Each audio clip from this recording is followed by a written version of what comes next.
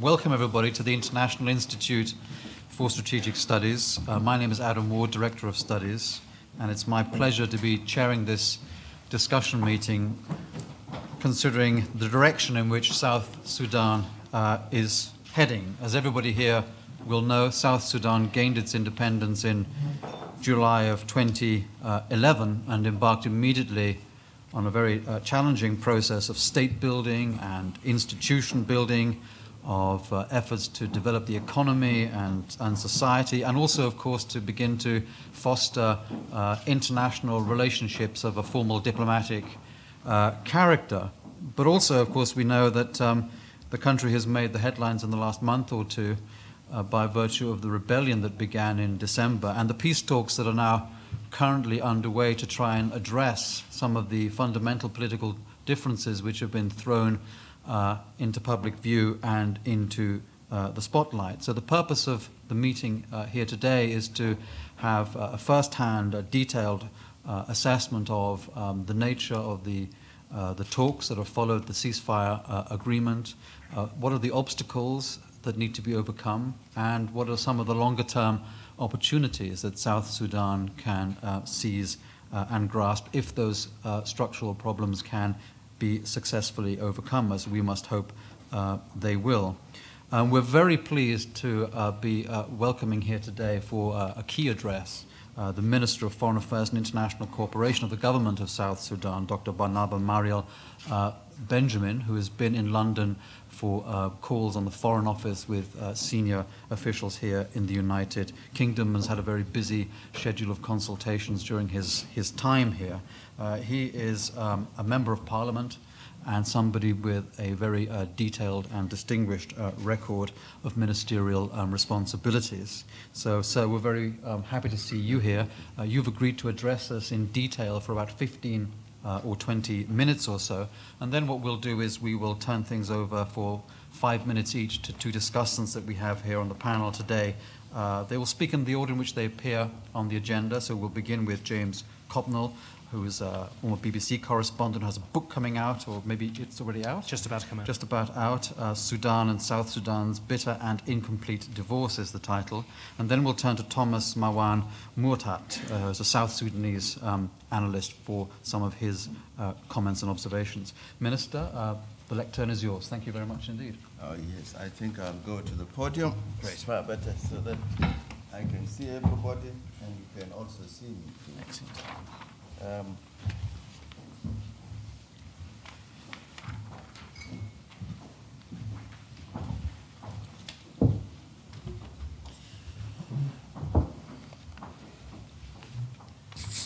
um, well, uh, ladies and gentlemen, I'm extremely delighted uh, to be invited at this institute, International Institute for Strategic Studies, and I thank uh, the director, Adam, for this opportunity.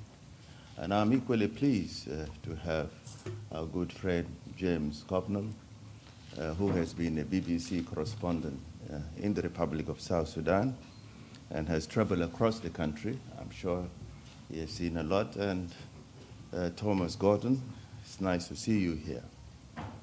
Uh, but I also thank you for turning up because I've seen the number of people and the institutions that you represent are relevant to what we have today in South Sudan. And one is also happy with the cold weather, you could still make it. My sympathies for you. uh, I was hopeful if there was a way to bring the nice warmth of Juba you here, I, I bet you would forget about the problems of South Sudan and begin buying my heat and my warmth. To talk about South Sudan in 20, 15 to 20 minutes is extremely a difficult thing to do because the issues are numerous. So what I will try to do in order to give the opportunity of discussion is maybe instead of turning it out into a complete monologue on my side, we do it rather than a discussion forum so that all of us can contribute. And to discuss issues which are strategic, it is important for us also to know this country, how strategically important it is. South Sudan is a huge country.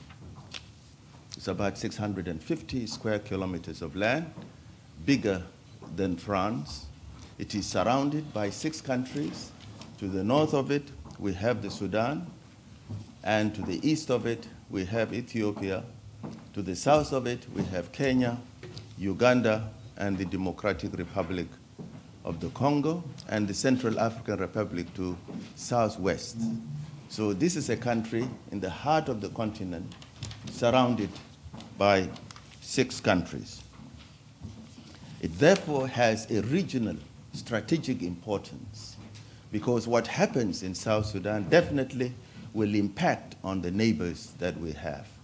The internal policies that the Republic of South Sudan has to conduct must also be related to the good neighborliness that we should portray in trying to have relationship with six countries. It's a polygamous uh, marriage politically, I would say, because to relate to all to these different countries, uh, you need to have policies that are friendly, uh, policies that are tied to your economy, policies that are tied to your security, and policies that are tied uh, to your existence in what you do in order to promote development in your country. Internally, South Sudan has been a country gifted with enormous resources. That's why we call it the virgin territory of Africa. We call it the virgin territory of Africa in terms of the resources that we have. What are these resources? These resources have regional interests. They have equally international interests. And you talk about oil, as many people amongst you here are aware, that oil could be a curse, and we have seen it in so many countries. We have seen it in, within the context of Africa. We have seen it, what it means to have oil in the incidences of Libya, the Arab Spring that we're seeing today. We've seen it in Nigeria, the Boko Haram and the rest of it. We have seen it in countries like Angola. And in terms of other resources like gold, which is in South Sudan, in, which are not yet exploited in terms of, of nickel, in terms of iron, in terms of diamond, in terms of, of uranium, what have you. These are resources that are proven but not yet exploited. So this generates a great deal of interest. We have equally the agricultural potential of the Republic of South Sudan. That every bit of that land is fertile, and our late leader used to describe it as the, the largest organic farm in the world today because you could produce products which are also cash products that can be sold internationally as well products that can be due, I mean consumed locally and at the level of the region. In terms of rainfall, you have a climate, an equatorial zone where it rains throughout the year, and there is a tropical zone which have eight months of rainfall, and a savanna territory towards the north of it, where it can rain four to five, five to six months of the year, with enormous underground water, and fortunately or unfortunately, the River Nile, the White Nile, which is the longest part of River Nile, which is the longest river in the whole world as we know it. These are resources you have that need to be exploited. And finally, you have the historical aspect of it, of the country itself. South Sudan, since 1865, visited by pioneers that have come mostly from Europe, particularly United Kingdom. And I would quote you a few examples. As I said the other day at Chatham, you have Sir Samuel Baker. When he visited South Sudan in 1865, he was amazed of the beautiful land that he has found. And he describes it as a perfect Garden of Eden in terms of the terrain and in terms of the people that he found. He described them to be friendly. He described them to be one of the best friendly and hospitable people he has ever found. And when Sir William Charles Gordon came as the governor in 1869, 1870, he was able to administer that territory.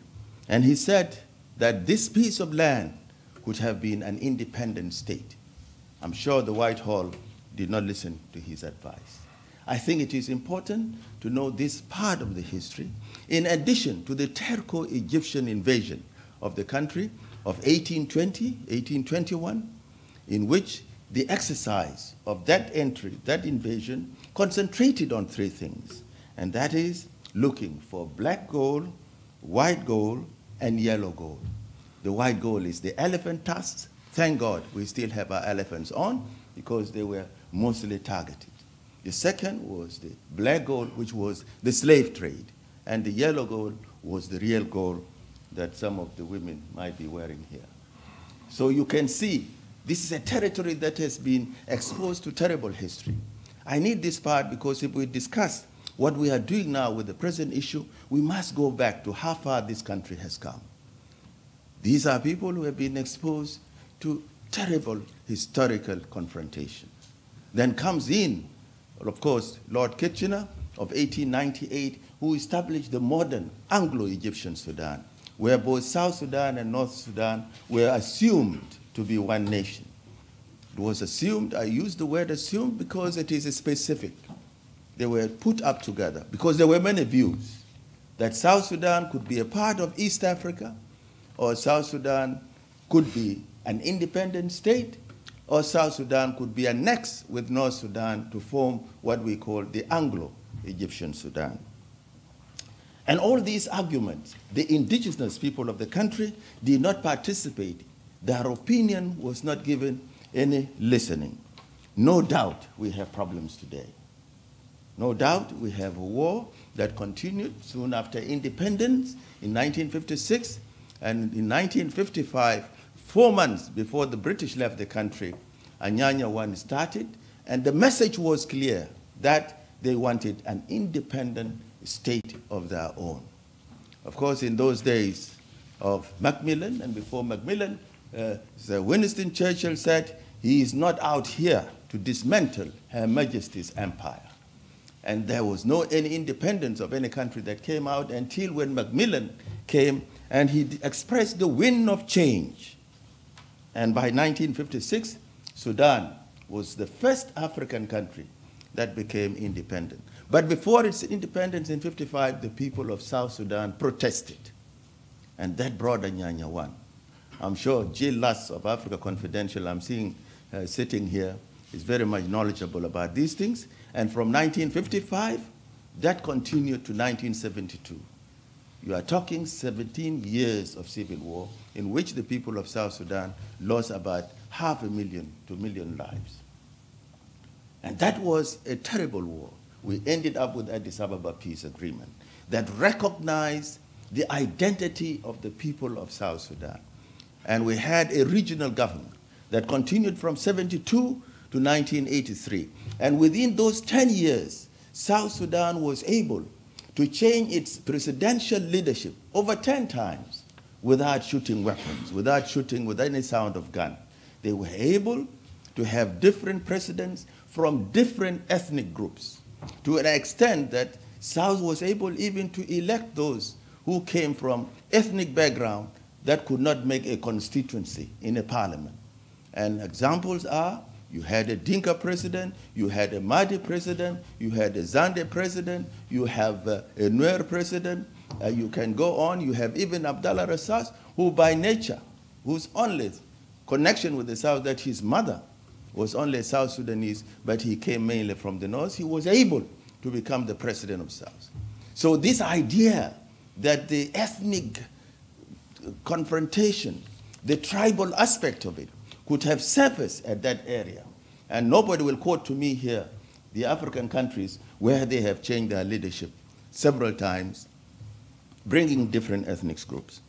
I think this background for this institute is important for us if you relate to the present crisis. By 83, because there was no honor to the Addis Ababa Agreement, we launched once more into the SPLM, SPLA, 1983 to 2005.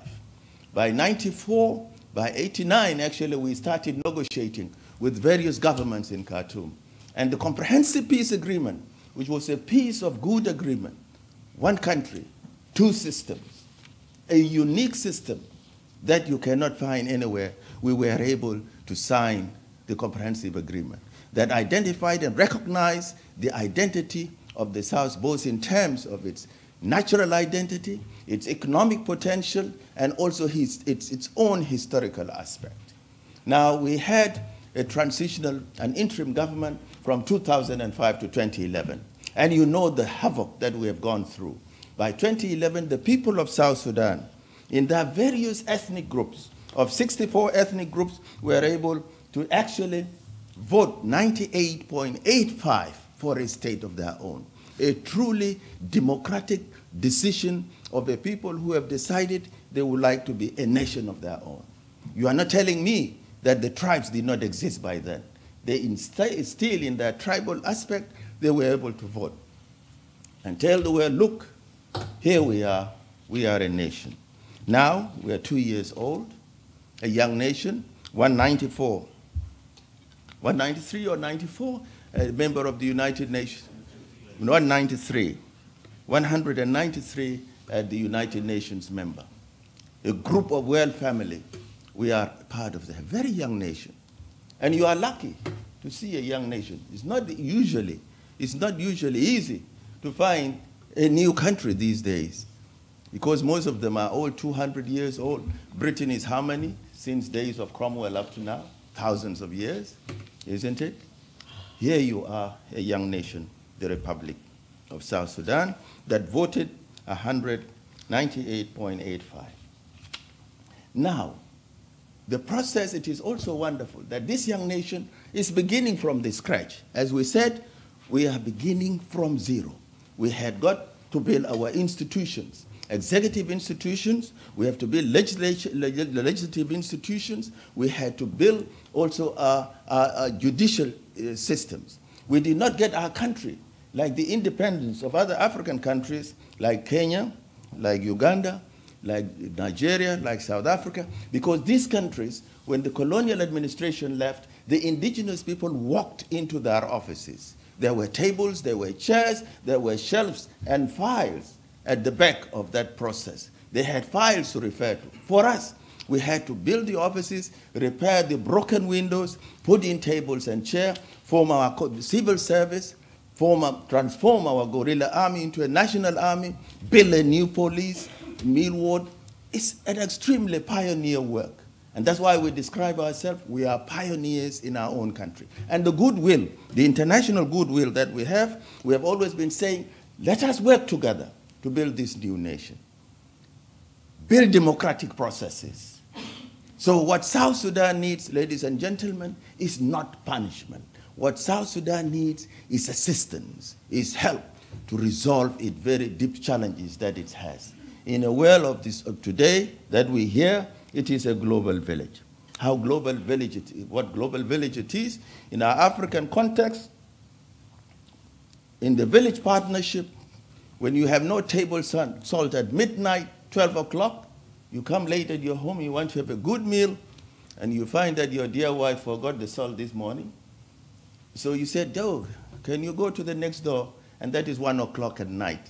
People divorce you. Knock at the door, they open it for you. What do you want? I say, we need salt. Oh, yes, we have some. They give to you. That is the global village we understand, which is not internationally represented. So what we need is assistance, not punishment. What happened, it started as an argument, in order to make my time correct, it's an argument, arrangements at the level of the political party, the SPLM.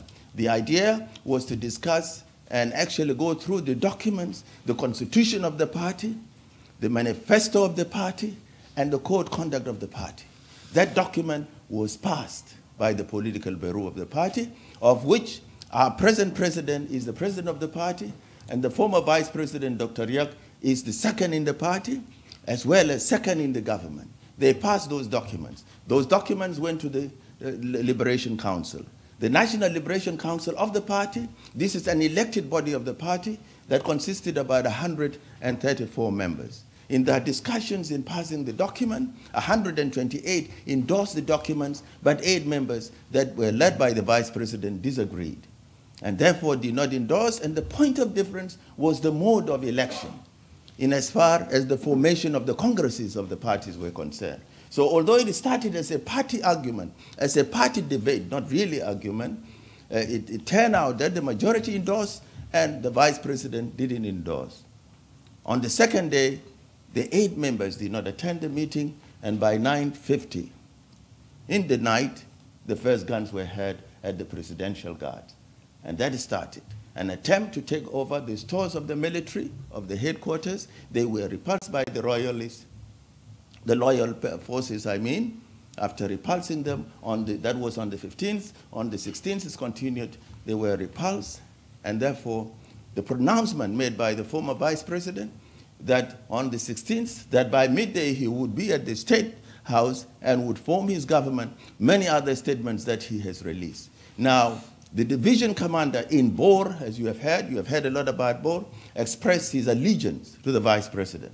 And that's how Vice President Riek Machar went to Bor to continue his, his, his struggle. And you find that the division commander of the Unity State also expressed uh, his, uh, that is Division 4, expressed support. And this is within the army. So the struggle was within either the National Army or a part of the National Army that became mutinous and supported the vice president. Now, when this incident happened, especially in Juba, when they were repulsed, and the government, the, the, the, the, loyal forces were returning, some of them, indiscipline of them, actually targeted certain ethnic group, particularly ethnic group in Juba. That's how the ethnic group was targeted, not by the whole army. It was some of the indisciplined army, and you know soldiers everywhere. When you send them to war, some of them get out of focus. And that's how the ethnic group was targeted in Juba. The government did not sit by. They have formed now an investigation committee led by Chief, the uh, previous Chief Justice, and some of these cases are being investigated. Already we have arrested about 100 of them. Also among the rebel forces in Akobo area, also, some of the rebel forces who were the mutinous part of the National Army also targeted the Dinka ethnic group. And that's how the Dinkas were killed in that place, including the two peacekeepers. So what I would like to tell you is this, this ethnic element being played up is not among the civilian population. It is not the ordinary citizens. Neighbors living by side are not targeting and killing themselves like what we have seen in Rwanda in the case of the genocide that happened in Rwanda. I think this needs to be put into context. Of course, those who have conducted this, the only civilized way to deal with these issues is to form legal structures, investigation, so that you can be able, in fact, to, to, to be able to, to punish them. Now, so from a debate in the army, a debate in the party went on, resulted in a rebellion, a sort of an attempted coup. That's why uh, I don't know, in English terms, if you have somebody trying to change a democratically elected government the, through the use of force, the term which is used as far as we know, and as far as we're taught in our schools and in colleges, it's called a coup. And that's what exactly what it is. What confirms it to be a coup, because the vice president, in the areas he took control, he started appointing governors and trying to, to, to, to express that he has now formed a new party. So it transformed into a rebellion. Now, a rebellion where the two states that he was in control of, that the capitals of those two states have been now recovered, including Malakal, which also a part of it, that is now under full control of the government. Now, the region came in to process the IGAD peace process. And the government agreed fully that this is a senseless war and that we agreed on four principles. First, direct dialogue without conditions. Two, cessation of hostilities. Number three, the release of the suspected uh, members of, the, of, of, of Dr. Rieks who were suspected to be a part of the coup according to the laws of the Republic of South Sudan. And number four, the unhindered delivery of relief food to all areas covering South Sudan. And it is on that basis the cessation of hostilities was signed by both as well as the condition, as what they say, the status of detainees. In fact, they are not detainees. These they are not political detainees. These are suspected elements that are believed to have been involved in the coup. And I think this is a misnomer to call them political detainees. In fact, they are suspected coup makers. And I think this should be very, very clear. And since South became independent, we don't have any political prisoners in our prisons. You cannot find people locked up because they have committed some political crimes. Because South Sudan is based on multi-partyism within our constitution, and any citizen has a right of association if you want to form your party. So I believe uh, that this is a process. Now, to run quickly to me before I can see your time is running out. Now, as a result of this cessation of hostilities, the IGAD countries now are supposed uh, to have modalities of monitoring and verification of where the both rebel forces where they are and the government forces are so that the ceasefire can become effective. The talks have resumed, are supposed to have resumed yesterday, but because of certain logistical reasons, they will resume today. And while we are sitting this evening, I believe that they must have opened uh, this evening and in Addis Ababa. Of course, what is the way forward? The way forward, of course, the government, I can assure you as a member of the government of the Republic of South Sudan, that the government is committed to resolving this issue because the people of South Sudan need peace. And indeed, the government is committed to that program. Now, we have put down an agenda. The government of the Republic of South Sudan, what is the way forward? First, we agreed an unconditional ceasefire among the warring parties in the country as soon as possible. And we have gone ahead and we have signed the cessation of hostilities. Two, humanitarian assistance to the affected citizens wherever they are in the country, even in rebel areas, while an immediate uh, focus and effort to return the internally displaced, what we call the IDPs, uh, back their homes will be given quick attention. And the government is serious about that. Number three, that a grand national peace and political dialogue in the country with full participation of the, uh, the, of, the, of the detainees. Detainees will be subjected to due process of the law later. That's how the seven detainees uh, to use your term, to us they are suspected coup makers. They were released, investigations were carried out, and it was felt that the president had a constitutional sort of intervention where he was able uh, to release these detainees on bail. Number four, a continuation of investigations into the crisis and hold the people accountable for atrocities committed. The results and legal process shall be shared fully with the public we're going to be very transparent about the investigations of these cases of atrocities. Number five, a presidential pardons and amnesty shall be part of peace efforts within the laws of the country, and that will come out within the context of the discussion and the environment created during the negotiation process. Number six is the establishment of a National Peace and Reconciliation Council, which shall reach all corners of South Sudan. It will involve the whole society sector, including the churches, including the, the elders, including the civil society organizations, so that it becomes comprehensive.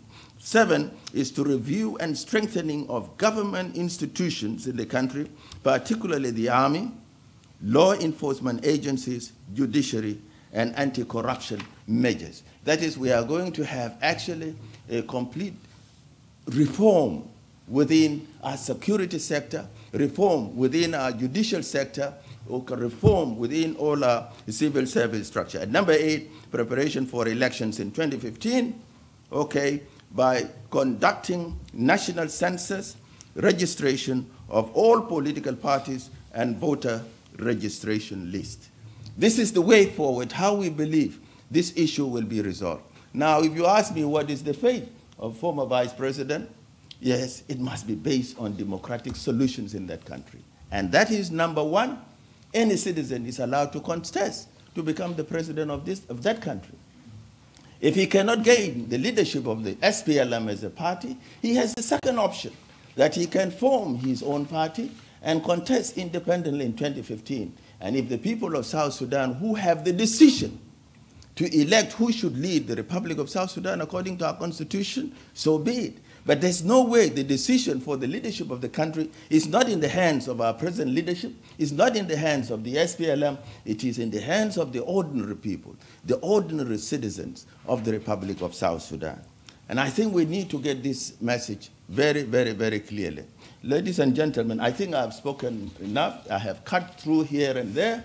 If I was to be given chance, Adam, next time, I will need three hours so that, so that I can put some meat on some of these details I have shared with you. But my message to you is this, ladies and gentlemen, before I conclude. That first, my government is determined to continue to lead efforts to reach a peaceful solution to the violence that affects so many people across our three states in Upper Nile region. That is the Jonglei state, the Upper Nile state, and the Unity state. We have got 10 states. The other seven states are normal. We have a population of 12 million in the Republic of South Sudan. I'm sure in the next census the numbers could be higher. But it is these three states that have problems. Finally, South Sudan is still a destination of investment. And we would encourage investment so that these resources are exploited for the benefit of the people of South Sudan that will enhance the development that we so need.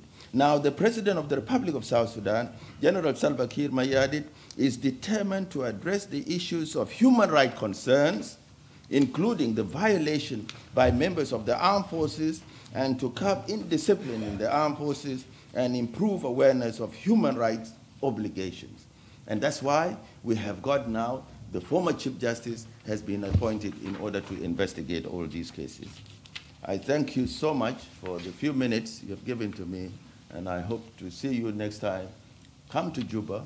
It is warm, it is calm, there is no gunfire in Juba. Thank you.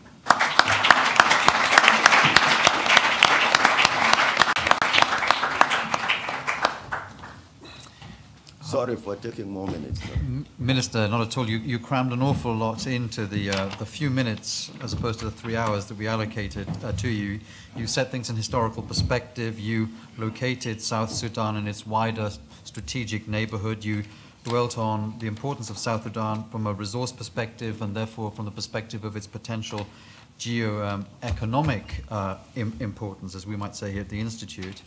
And I think we want to uh, continue where you really uh, ended, which was to look to the future as much as we can. I was very struck by uh, your description, on the one hand, of the, the solidarity within South Sudan on the question of independence and the level of support. And you mentioned also the tremendous international goodwill which exists uh, towards the, the project, contrasting with what you also described, which was fault lines and fissures within elements of the political elite, within elements of the armed forces, and spilling over into uh, ethnic uh, dimensions as well. So I think in the time that we have left, uh, we should really turn uh, to the future. Um, the requirements of an effective implementation of the ceasefire, which you dwelt on, and then also the key question is, what do the talks need to be able to uh, achieve uh, to achieve some sort of a permanent resolution of the, the fissures that you outline as well. So, James, perhaps you can lead us off on some of those questions. Yes, thank you so much. Thanks for uh, the kind words, particularly from the Minister. I won't be able to uh, equal them in the time uh, available, so I'll, I'll, press on. I think uh, the point about everybody being united at the time of the referendum is a very important one, but I wonder to what extent people were united in their antagonism or enmity towards Khartoum and not uh, towards a constructive nation building project and whether the first couple of years after independence there was a lot of concentration both by South Sudanese and by foreigners working in South Sudan on state building, on building institutions rather than uh, building a nation, rather than the sort of projects that will bring people together. And that's something that maybe uh, broader talks, which is something we can, we can come on to later, uh, would, would potentially need to address. I think it's worth pointing out that at the start of this crisis, there was this political tension within the party. It was very obvious that Riek Machar wanted uh, to become chairman of the party and therefore presumably president of the country, and that everything within South Sudan, because of uh, the historical context, the political game is played within the SPLM, and I suppose to a lesser extent within the SPLA, but within the SPLM, within the party. And therefore, what happens within the party is much more relevant than what happens with the opposition. And there was this political uh, context. There were the accusations of increasing authoritarianism by uh, President Salva Kiir. That was certainly the uh, Riek Machar and other people's uh, line.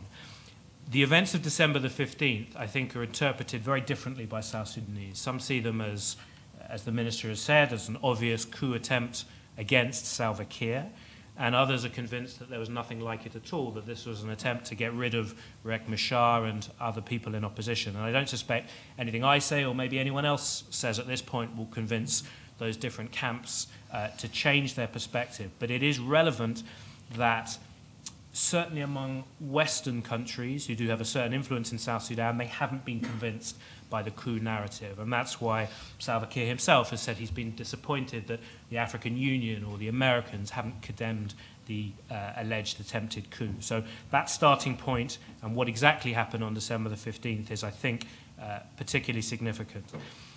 I'd be interested to hear more from the Minister and other people in the audience too uh, about the regional role which the Minister suggested was so important, the strategic importance of South Sudan.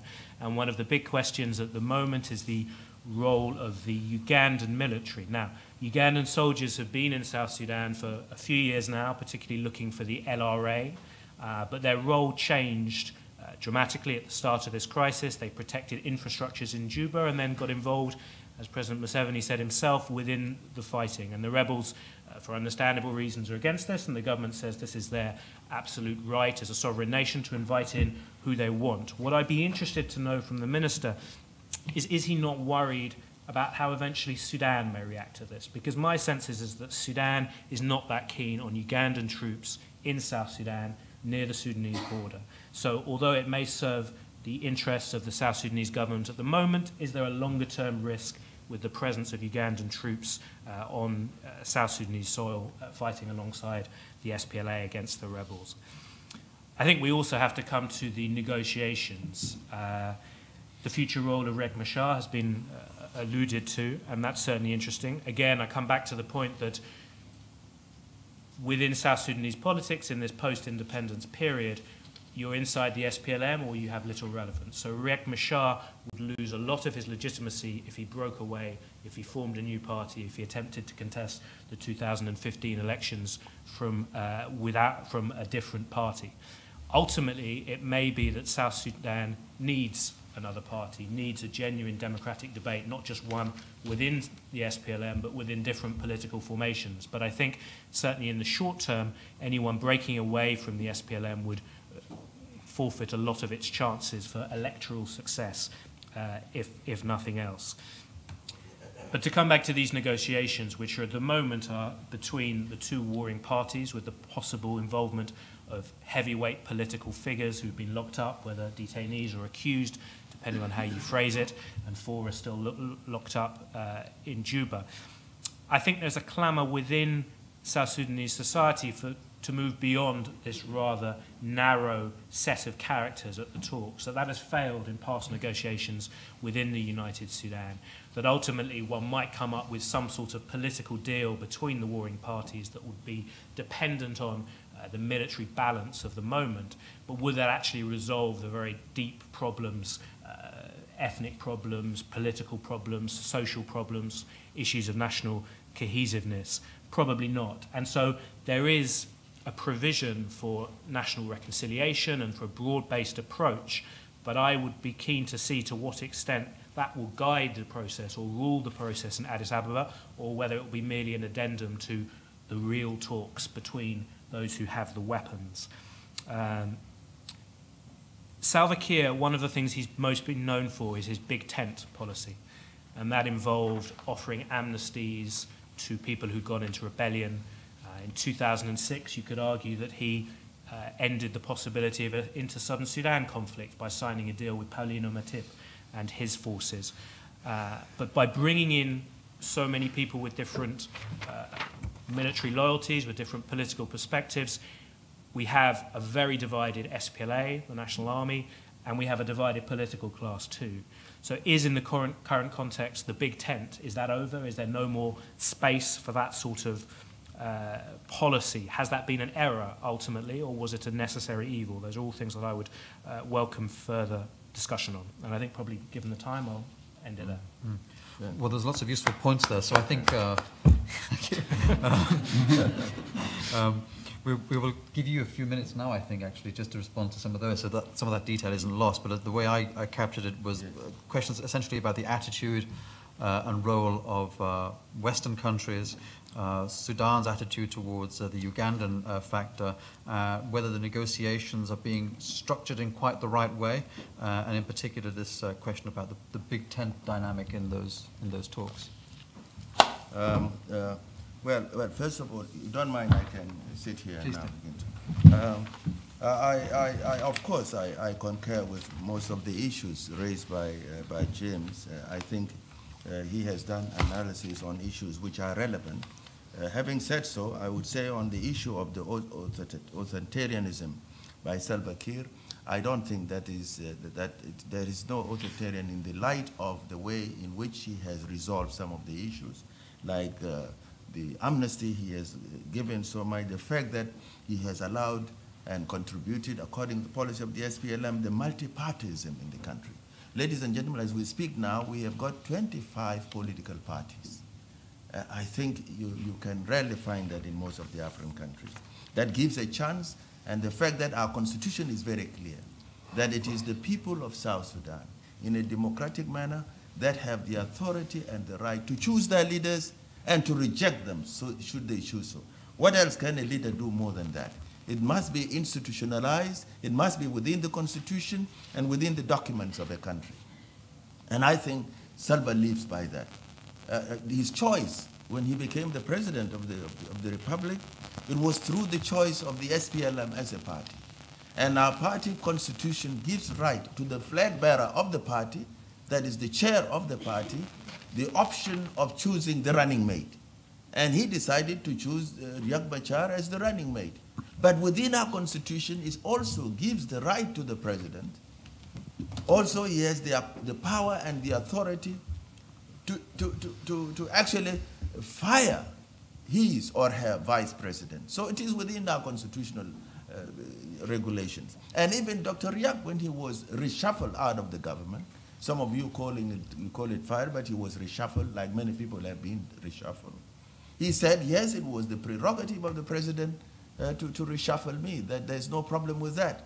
But equally, with the nature of all vice presidents throughout the world, I, I haven't heard one day the vice president of the United States trying to, uh, to, to criticize a, a president uh, uh, of the United States, Obama, uh, because he, he knows his position that one day he might become president himself and he has to wait patiently until he's elected. So I think uh, we, we have also to give a, a sort of a, a green light to that. On the role of the United States, South Sudan has been cooperating with what we call the Troika. The Troika are three countries that have been with us throughout the struggle, who have always, we have been working with them together as, as, as the goodwill and friendliness. That is the United States, the United Kingdom, and Norway. Because some of these countries have been with us since the days of the struggle. They have, we know that United Kingdom has the traditional background of having been in that country. The United States was able, different administration from Bush and, and, and Clinton and all the rest have been trying to resolve the issue of South Sudan and therefore have been involved in humanitarian assistance and all that. And Norway has been with us since 1983 when we launched our struggle as a sympathetic partner. Its own history also they had to break away from. Uh, as you know, they had to fight for their own independence, they understood us. So we are working with these countries. We call them partners. Not only that, the goodwill internationally, where we have what we call now the new compact, the New Deal Compact. This is a compact we have worked out with countries like Japan, with countries like, like uh, Norway, European Union, uh, you can go on, countries like uh, uh, China and the rest, which together work with the government of South Sudan and the citizens to determine the development projects that are being done. So uh, we believe we, we, we are working together. We only differ on this issue of how to define the RASCO. On the role of the Ugandan, Ugandan forces. Ugandan troops have been in South Sudan since 2008. And these two troops were a part of what we call the African Task Force. Actually, uh, supported and encouraged by the African Union, supported by the United States at the time, where they had also contributed a contingent of, of, of Marines, which were actually help, helping in locating the, the, position of the Lord Resistance Army leader, Joseph Kony. So these troops were there to eliminate the presence of Lord Resistance Army in the region, both in Uganda, South Sudan, DRC, and Central Africa. And these troops, Ugandan troops came in 2008. They were based in Central Equatoria. After we got rid of LRA from Central Equatoria, they moved into Western Equatoria, where also the LRA elements were pushed out, pushed out from the DRC. Now we know this, this, this, this exercise is not yet complete. So the Ugandan troops cannot withdraw until we complete to identify where the Lord Resistance Army is, and that is Joseph Kony. The day Joseph Kony is caught out of our region, that is the day Ugandan troops will go. So they are there for that particular function, as said by James, I agree. Now, how did they come in in the last? They came in in the last incident because we wanted to secure important infrastructure in, the, in South Sudan. And that was Juba Airport, because the United States, United Kingdom, European Union, Kenya, Uganda, Sudan wanted to vacate their citizens from the airport. We didn't have enough troops to take care of that. We didn't have the capacity, but the Ugandan troops had the capacity. They protected the airport, and I'm sure some of the members sitting in this audience were comfortably airlifted out of Juba Airport with the guarantee of the Ugandan troops. The second responsibility was actually to protect the economic line that is the Juba Nimule Road, a 200 kilometer road where most of our goods come in from Uganda and from Kenya. We could not allow this route to be interrupted by the rebels. And so, and again, Uganda could not vacate all their citizens by air. They had to bring in a huge fleet of buses so that they could take them by land. So that road needed to be protected. How did they end up in Bor? In Bor, we have an airstrip where the Americans also wanted to vacate their citizens and other the countries like Kenya we needed relief food to be brought in.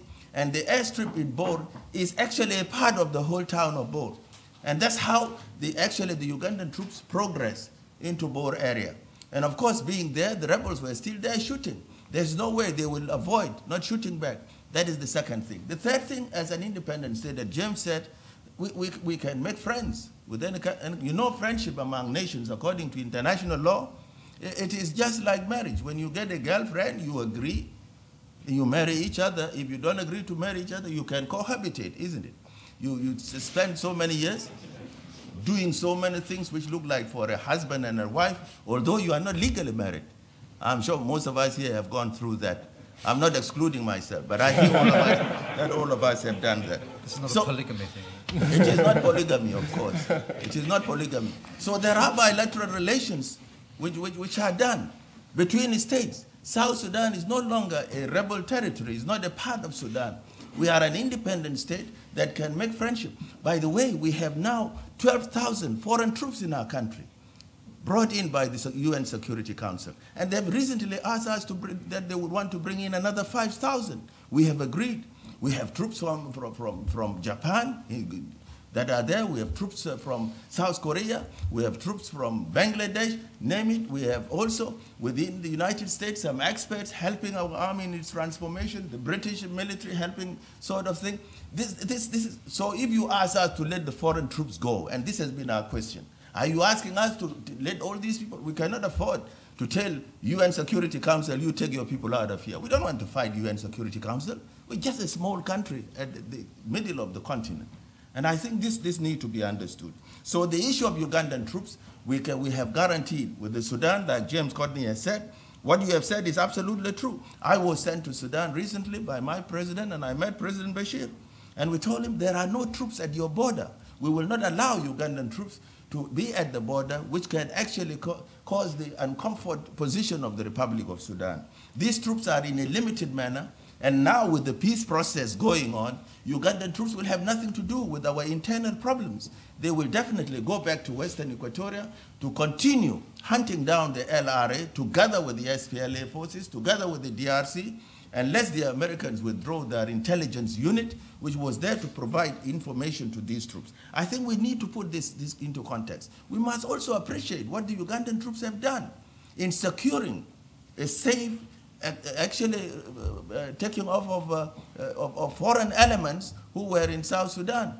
And, and we are happy there is no single foreign citizen that has been killed in this trouble. I think that is a credit, and, and we must appreciate that. Then finally, the, the other thing which was raised, the, the, reaction of Sudan, as I've said, we have guaranteed them.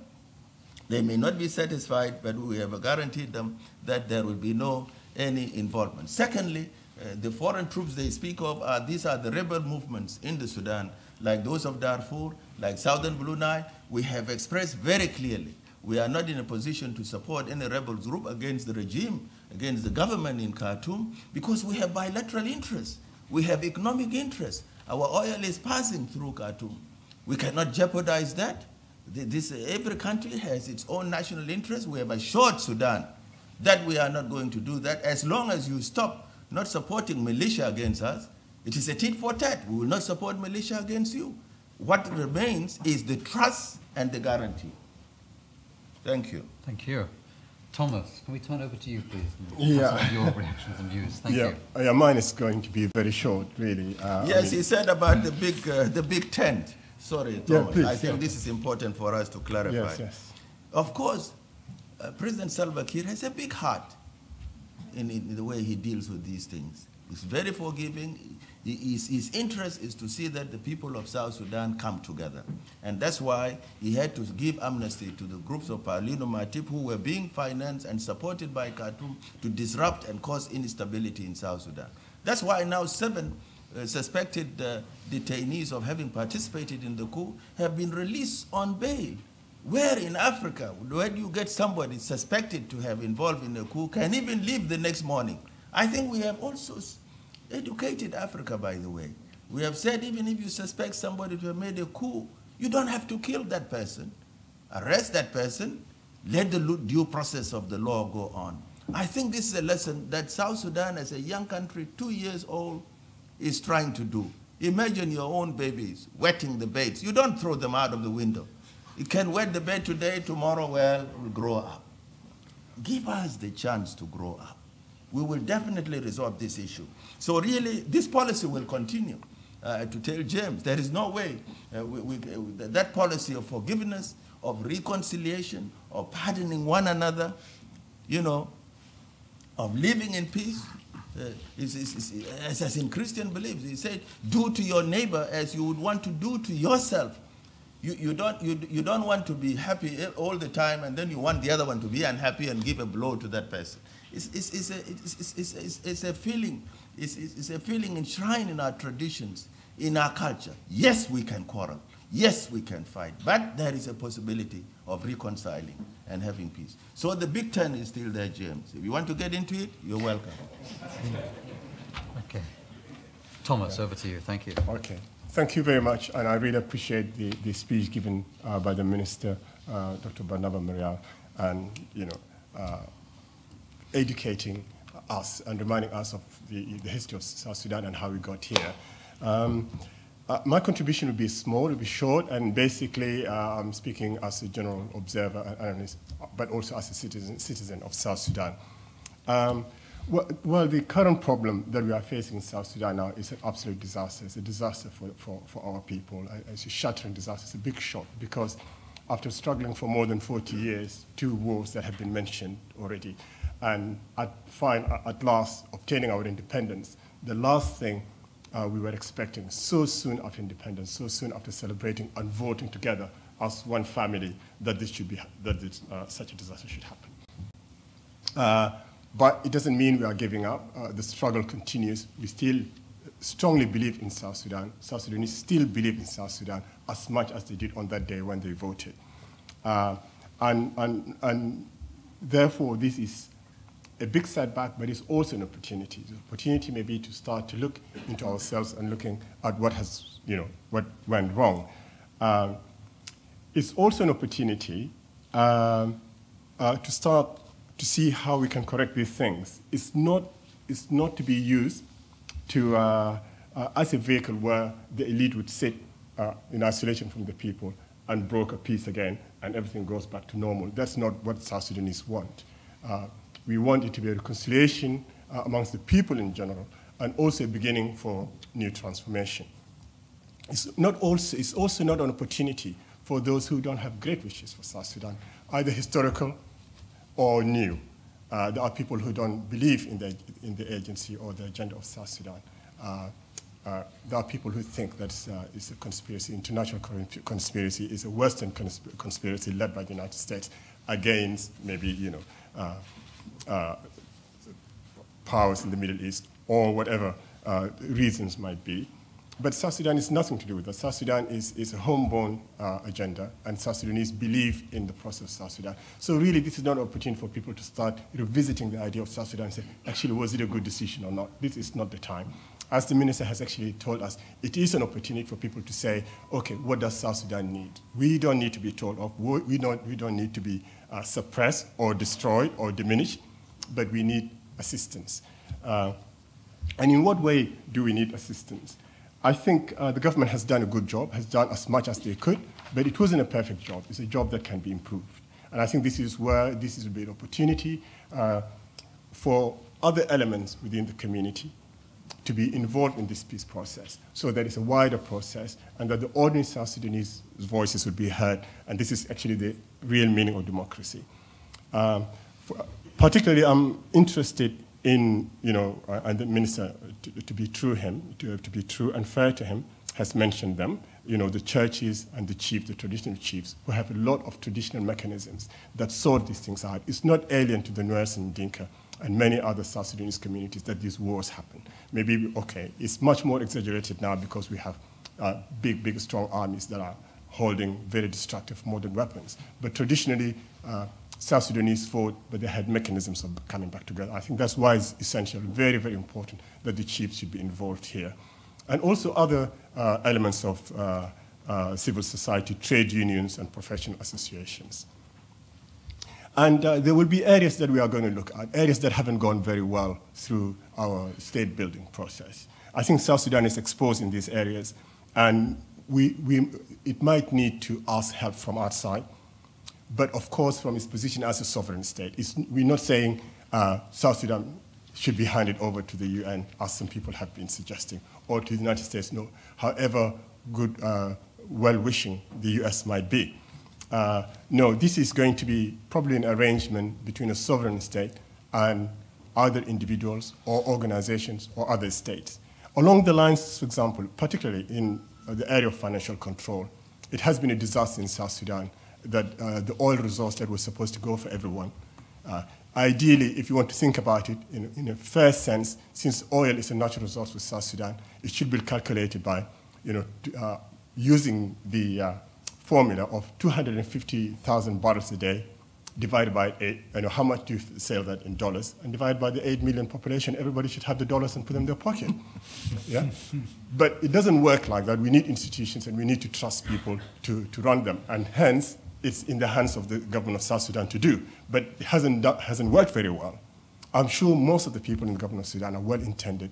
They are very good. But we have uh, an element that has ruined it for us. Uh, and, and, this has alienated a lot of people. It has frustrated a lot of many South Sudanese that our resources have been wasted. That's one. There is also the element of elitism. When the revolution was there, when the SPLM was fighting, the people and the army and the leaders were together. Garang and Kiir and Riek Machar lived side by side with South Sudanese, ate with them, and went to bed with them. Uh, at the moment, uh, people are isolated in, you know, more or less a gated community in Juba and there's a feeling that people have been separated, that a new elite has been created. Uh, and uh, the elite doesn't care. They, they are self, self-seeking, and they're not looking after the rest. So uh, many ordinary citizens feel they're alienated from their, their, government. They have no relationship with their government. And this could lead to a lot of problems. It has been mentioned in many other areas as well, especially if you consider that you know, 70% uh, of these uh, uh, isolated uh, citizens are young people who are unemployed, uneducated, uh, but obviously have aspirations. And you know what are you going to do if you're not going to do anything for them? They are going to decide to do something, uh, which obviously uh, we can now see, especially in the case of the White Army, is a good example of how you can use a small generation, a small, a, a big number of very young people to try and, and, and destroy things and cause havoc. So this is the issue of elitism. It has to be addressed. The question of the fail of the justice system. There is no justice system in South Sudan. Well, there is, but it's not working. Yeah. We have judiciary, we have the, uh, we have the police, we have the uh, prison service, but it's very poor. I, I, went and lived in South Sudan for seven months, and people get arrested who should not be arrested.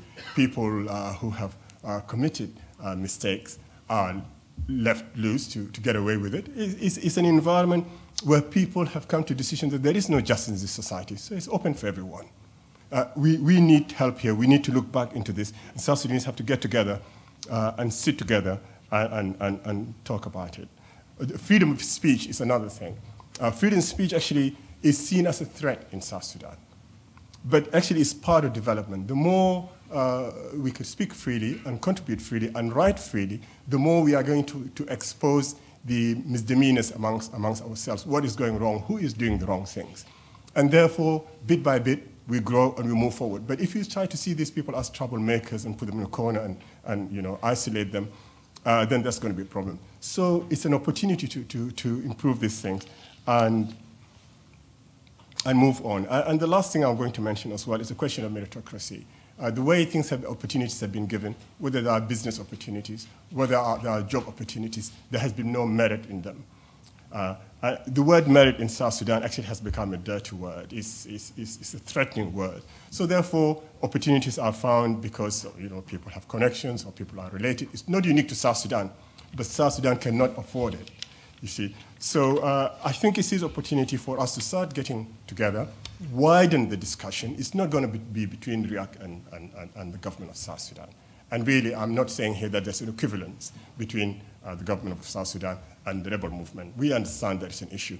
And of course, as long as the peace process is going on, it's up to them uh, how it's going to be concluded. But we are saying that widen the scope, include other South Sudanese there, uh, so the new voices could come in, and we start again, and we start rolling. Uh, that's my point. Thank you. Thomas, thank you very much for uh, some very useful points eloquently made. Um, we are running behind schedule, but I don't want this meeting to end without giving some members of the audience an opportunity to ask a question. Uh, and then at the end of that, we'll come back to the panel for final, for final comments. Um, first person to catch my eye was the gentleman here in the third row. If you'd like to stand up and the, wait for the microphone to reach you, and then identify yourself, if you, if you would please, for the benefit of the minister and the other panelists. Uh, good evening. My name is Sisto. I come from South Sudan. Uh, I will not go so much into what uh, the minister has, uh, has told us this evening, but I will have one question on the issue of uh, the suspect, as you prefer to call them. In relation to what is going on in Addis, because the Addis meeting has to do with finding a, a, a, political solution to the, to the problem in South Sudan. About two days ago, the government came with a statement saying that the political prisoners, as we all know, but the government prefer to call them suspects, if they are allowed to go to Addis, they will be called rebels. I thought uh, all this effort that we are making has to do with finding a, a political solution to the problem we have in Juba. Of course, uh, the rebels are saying that if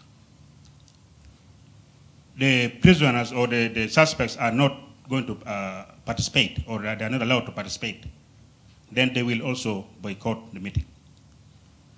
Uh, is there a solution to this because without the participation of the other intellectuals of South Sudan, including the churches, the civil society, the religious people, etc., do you think we are going to find a final solution to this problem, or we are only looking for to solve a partial problem to this problem that we have in South Sudan? Thank you. Thank you very much. Uh, if you just pass the microphone to the gentleman across the aisle Lucy. If you keep your hand up. Thank you very much. My name is Alhaj Paul, and I come from South Sudan. Uh, I'm grateful for the minister for having given a very uh, nice, enlightening speech and all the other discussants. My question is to the minister. The government of South Sudan constantly stresses that it is a democratically elected government. Now, since Sudan came into existence on the 9th of July, South Sudan. South Sudan came into existence on the 9th of July 2011. There has never been any elections held in that country.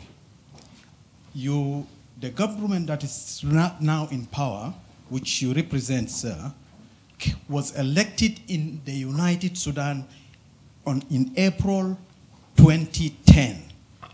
Your mandate actually expired on the 9th of July 2011.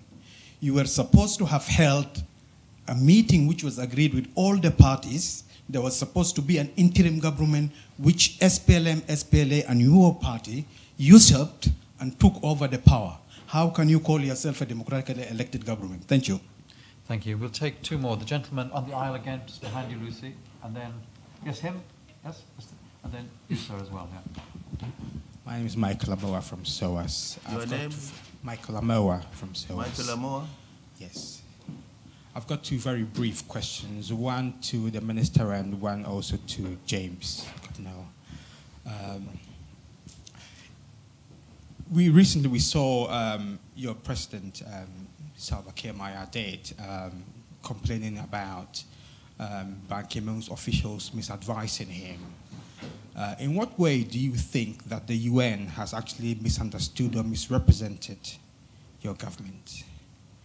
And to James, you did say that the West does not buy the coup narrative, but you don't tell us why. What really, in your opinion, happened? Thanks. Thank you. And then, yes, you, sir.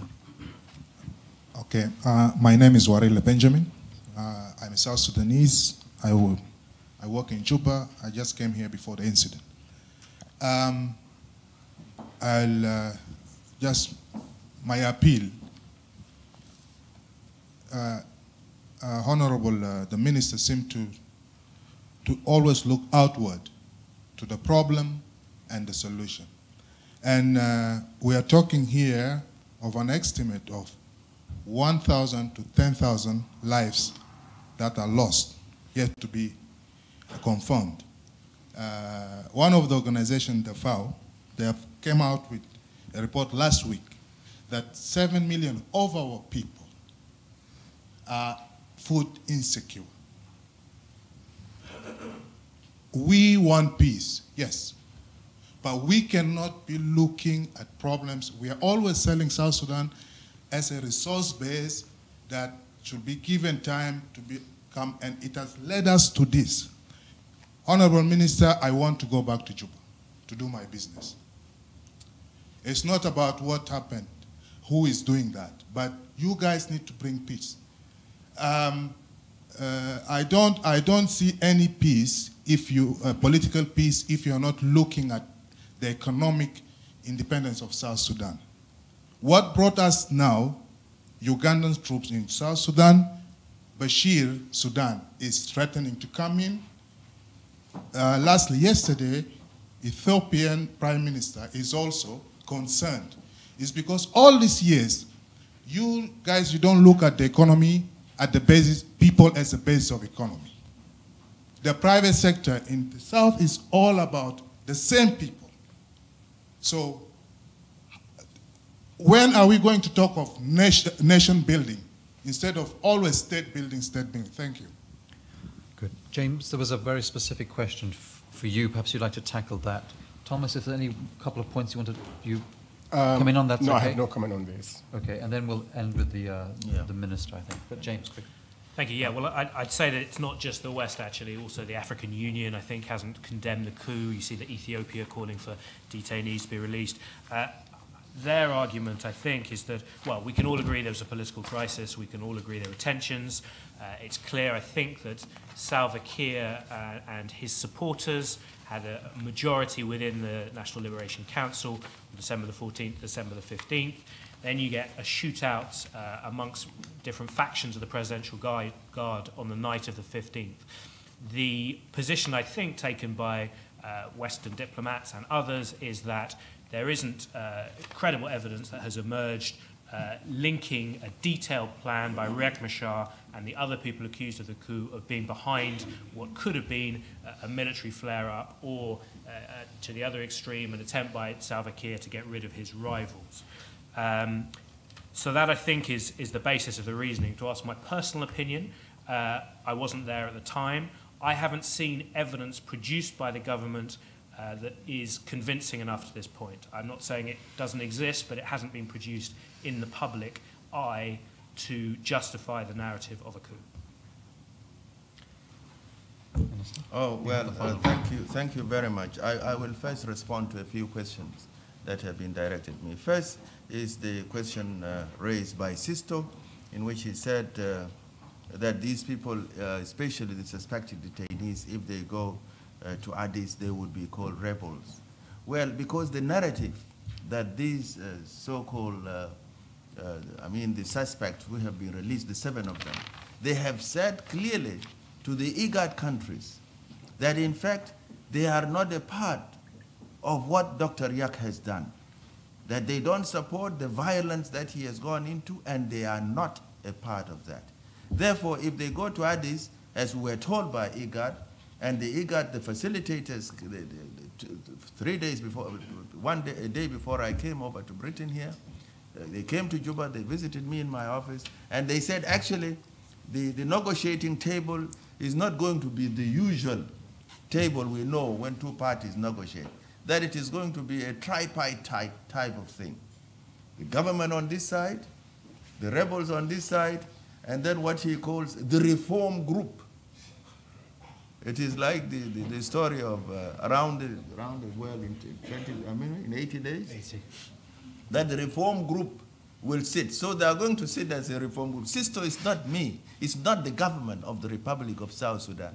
That is the description that the IGAD countries got from the seven who were suspected to, to be a part of the coup, of which they said they are not a part of that. And that if they were to participate, they were to participate as a, a group on their own in order to help bring about peace in, in, in South Sudan. The civil society organized participation is there. We have started the reconciliation processes. The reconciliation process is important. They don't have to be a part of the negotiating team. It must be an agenda organized across the country so that the civil society organization, the church leadership, the elders, the chiefs, as Thomas was saying, all these people and will bring across the whole society of the Republic of South Sudan so that the reconciliation, the forgiveness of one another, the way forward can be discussed in that forum. So they are a neutral body. They are not a part. They are a body interested in peace. And you can, you can see the impact of the truth and peace reconciliation that President Mandela did in the late President Mandela did in South Africa. It is a different forum. So the society there is system. And, and, and if you are, uh, and I think you, you are, if you, are, if, if you consider yourself to be a part of that, why not go and join them in order to help bringing peace among your own people rather than freezing here in London? Now, about Hajj Paul.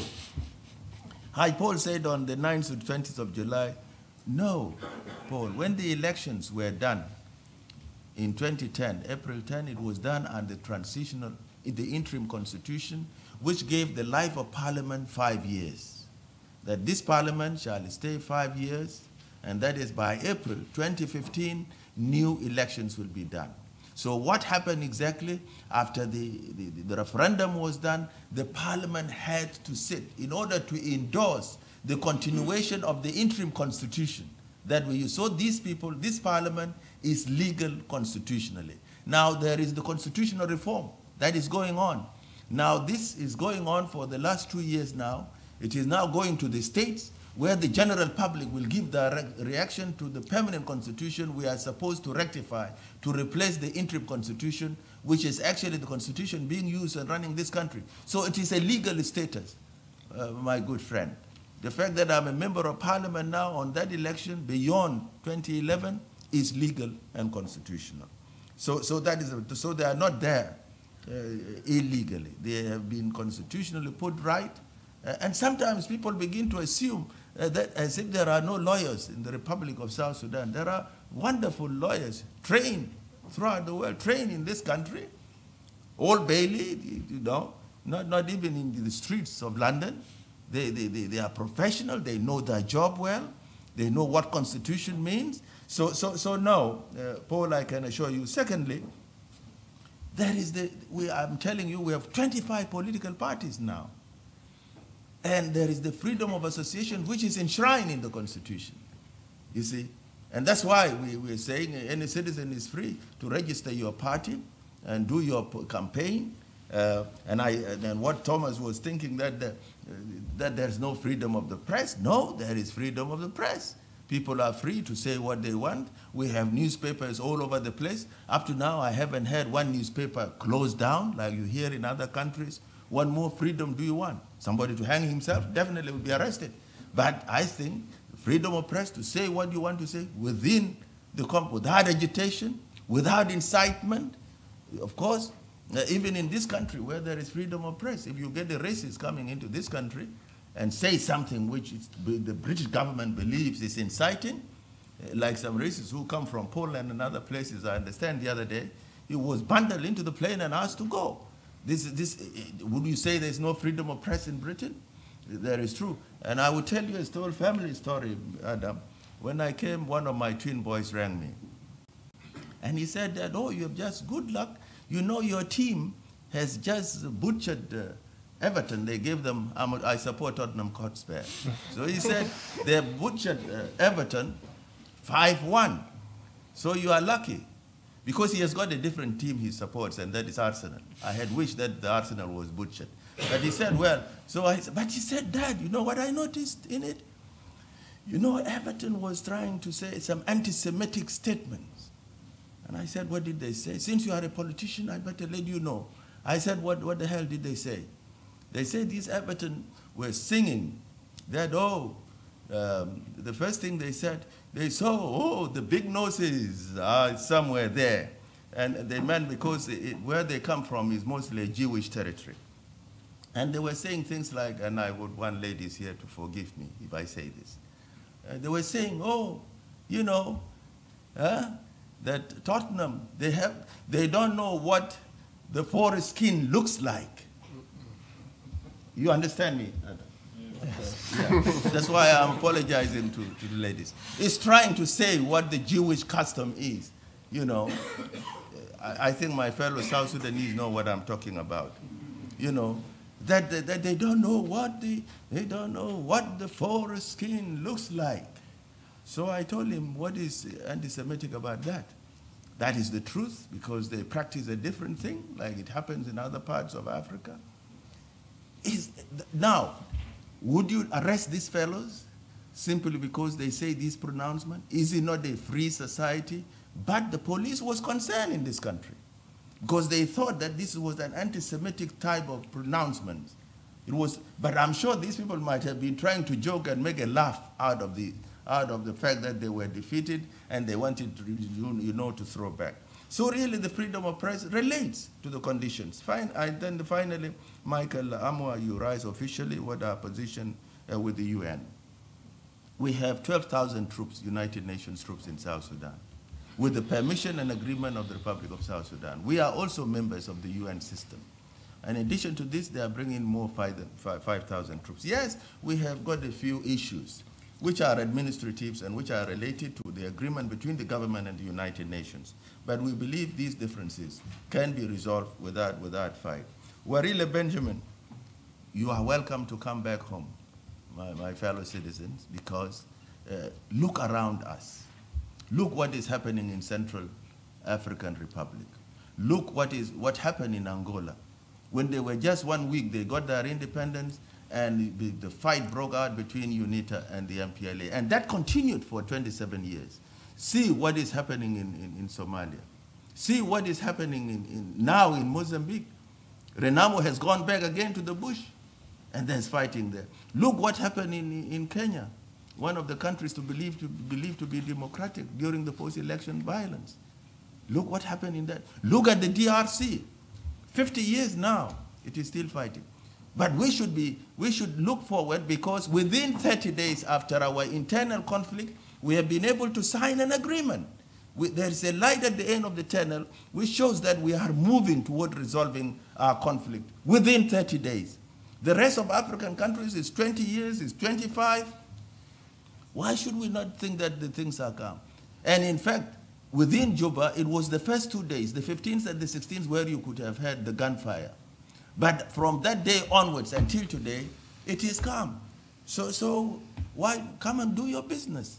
Uh, I know you have been doing good business in South Sudan. My, my encourage and my guarantee, I can tell you, if you come now, your business will, uh, will uh, beam. Now, we're really on the issue of food insecurity. uh, food insecurity, the policy of the government has agricultural program. Food insecurity is across Africa. We, on our part, we are doing our best in order to resolve the issue of food insecurity. That's why we are inviting investment to come in. As I said much earlier, the country is endorsed with resources. Come and do your best. Entrepreneurship is allowed. The private sector development has to be encouraged. And for us to encourage this is why the government wants peace, so that there is stability, so that there is no investor who can go and pour his money in a territory where there is shooting all over the place. Nobody will do that. That's why we say let us have peace and stability so that we can begin to develop. So Warile, I think, I think you come back, you are a part of that solution. You are not a referee. You are a part of the game. Your, your being here contributes negatively to your being not being in South Sudan. So I would encourage you, you can come back to business. If you want to fly there tomorrow, please do so. Like I will be flying back the next two days. There is the Ethiopia and Sudan thing. I thought I had said I just came from Sudan having been sent there by my government. What governments do among themselves, Benjamin, when people are trying to reassure themselves, you, you promise the country that we will not be able to allow any hostile activities from, from this, this side, from our side of the border to the other. It is assurance, it is diplomacy, it is relations.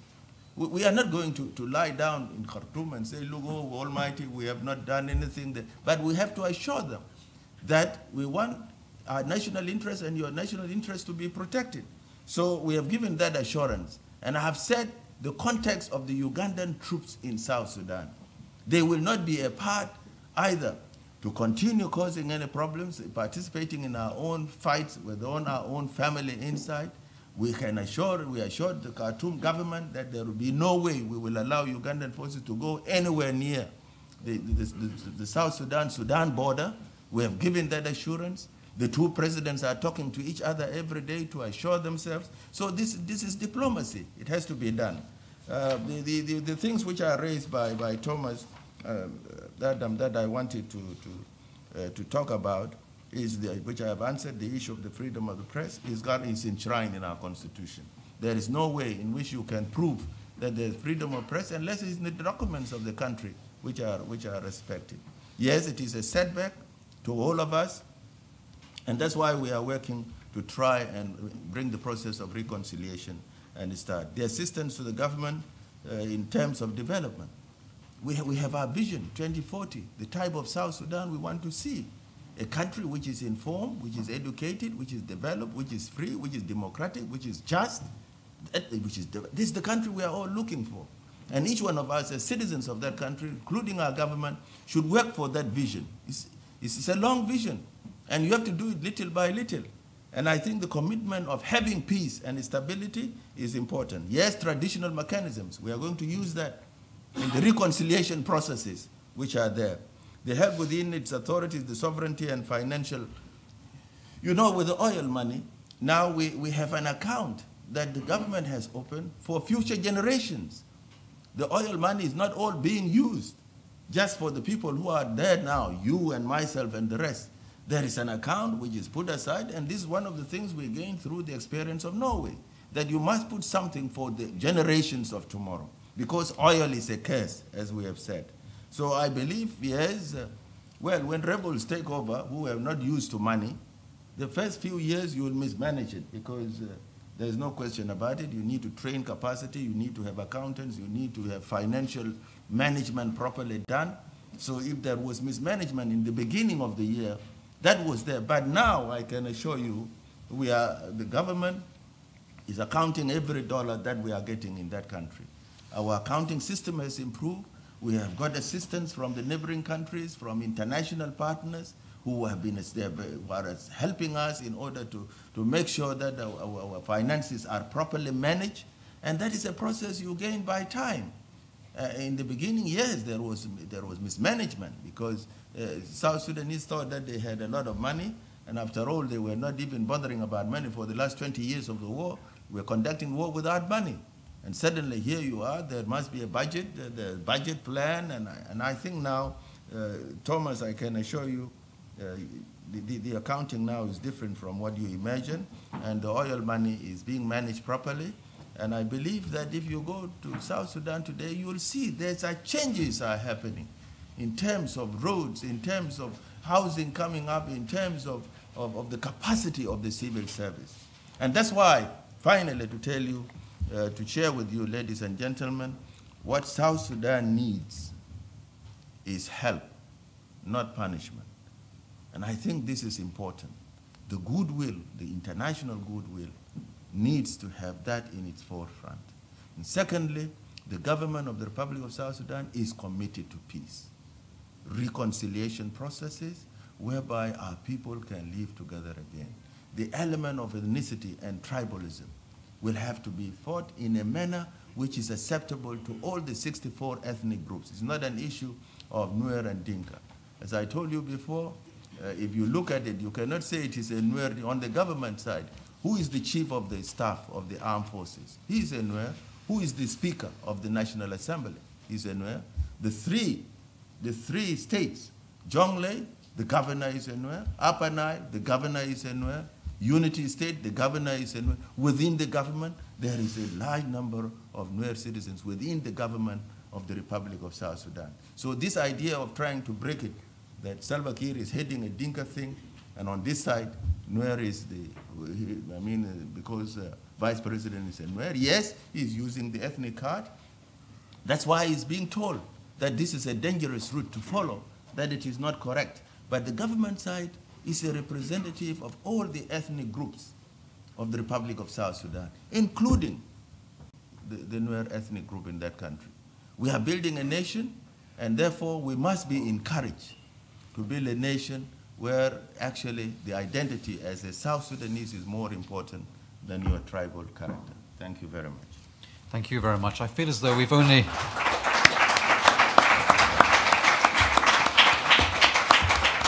I feel as though we've only really scratched the surface of this, this, this subject, a very dynamic, fast moving situation in which the stakes for a very young country are, are very high. I'd like to thank the audience for their uh, continued uh, attention. I think the fact that everybody has stayed, although we have overrun, is, uh, is a measure of the interest in this subject. We at the Institute will continue to monitor uh, developments uh, in South Sudan very closely, as will the wider international community. I'd like to invite the audience to join me in thanking our panelists for their uh, engagement and commitment to the discussion here this evening. Thank you very much.